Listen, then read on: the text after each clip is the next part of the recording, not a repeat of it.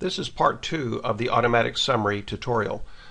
Uh, it would be a good idea for you to have first watched the, um, the initial auto summary tutorial since it's got some of the basic features um, that you will need to have already known. So here we are in the same report we were in that we were using for the first automatic summary tutorial. And in this particular tutorial, I'm going to show you, if we go down to summary. I know this is off the screen down here at the bottom, but if you look at the top, you'll see that we're in the summary section. Here it has the title. This is the one we were using earlier. In this particular tutorial, I'm going to show you how to um, instruct Whisper to create you a summary page, but to split out different types of um, linked items. Before we linked everything into one category called all. Here we're going to create some placeholders just to start with here. Hang on. I'll go ahead and enter these real quick.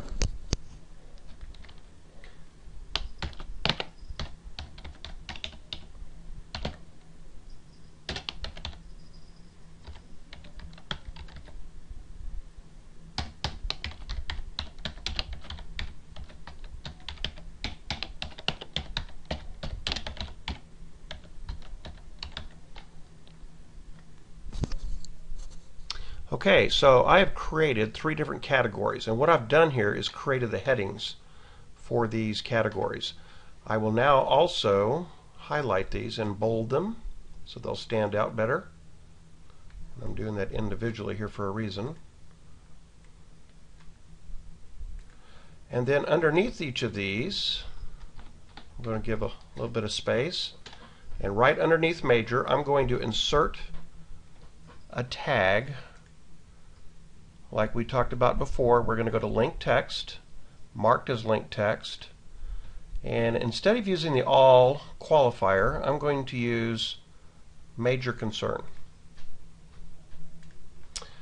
And that tag has been placed in there. Before we just used one tag for the summary section. We're going to be using several different tags now. So for minor concerns, I'm going to insert another tag.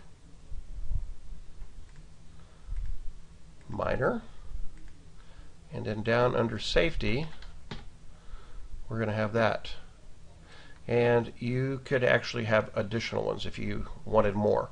I've actually got all safety concern, major, minor, code violations, something that needs to be monitored. But this list is completely editable by you. You could um, add to it, change it around any way you want. So here's the safety concern. I'll click OK. And that one ended up getting bold. We don't want that to be bold necessarily. Alright, so as you can see, we have our title, which is summary, and then now we have some subtitles, subheadings, I guess you might say, um, each of which has a different tag associated with it.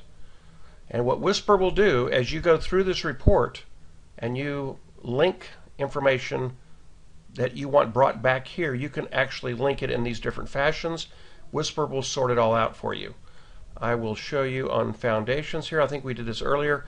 Some of these comments I'm going to link are not necessarily problem text, but I will simply use this just to demonstrate. So here this first one is. I'm going to go to our link button. I'm going to say this is a major item, even though it probably isn't. Now it's linked as a major. I'm going to come down to roof coverings. I'm going to say this is major. Come back up here. Actually, let's make this one uh, a minor. Yes, what I was going to do. Let's make this a minor concern. Then we'll come down to doors. Loose missing hardware. Let's go ahead and call this a, um, a minor.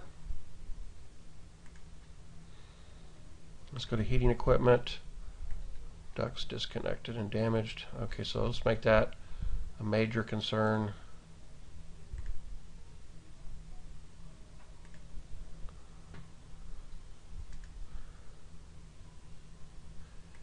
And let's see here. Let's go down to um,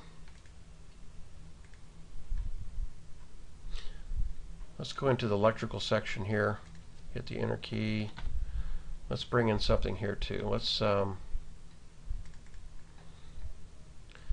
let's just call this a safety concern for right now.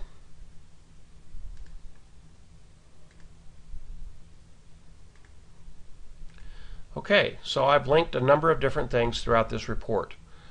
Um, at this point, if we click on the printer icon and say preview,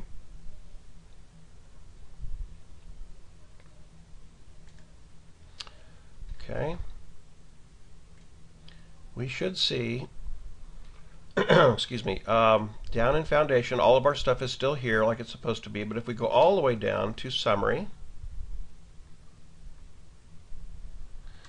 you will see that we have our major concern subheading with foundations and heating equipment, which is exactly what I marked to come into the major section.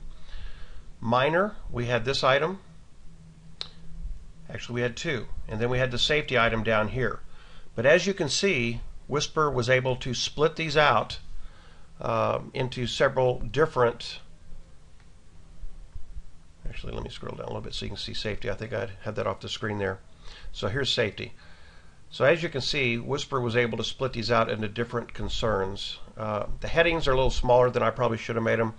You can make that bigger, of course, but I think you get the point. Uh, it's it's pretty powerful to be able to have that kind of capability, and Whisper does support that. So that concludes the second part of our automatic summary. Thanks for watching.